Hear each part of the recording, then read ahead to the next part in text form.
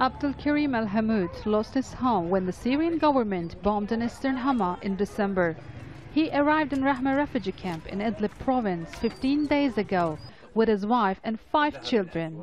The 50-year-old farmer says he had very good business back home, but he had to leave it all behind.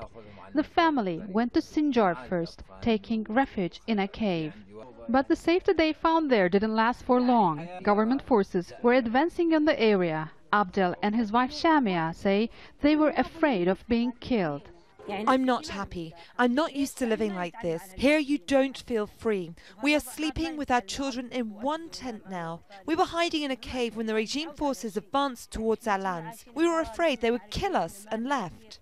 After the bombardment in East Hama, a lot of people moved to Sanjar. We faced few bombardments after ISIL and the regime started their fight. We had to leave again and stay out in the wild, sleeping under trees. Eight organizations came and took us to this camp. But you see, this is not home. The camp was built only a couple of weeks ago and is already full. 5,000 people are here, but still more are arriving every day. Most of them are poor families from eastern Hama.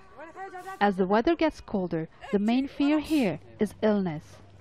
Hygiene is a major issue. So much of the prevention falls on the women here, as they are the ones responsible for feeding and cleaning in dire conditions. The primary needs are tents and things like mattresses, blankets and carpets. Also items that are specially needed by children and women.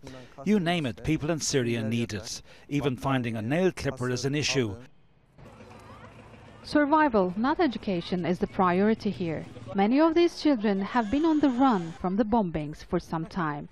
Some of them haven't been to school in years. They're left to their games and escape from the sad reality of their homeland. People have managed to escape the regime's airstrikes and the fight against ISIL. They were able to find refuge here in these camps in northern Idlib. For now, they're safe but no one knows what will happen if more Syrians come to the region.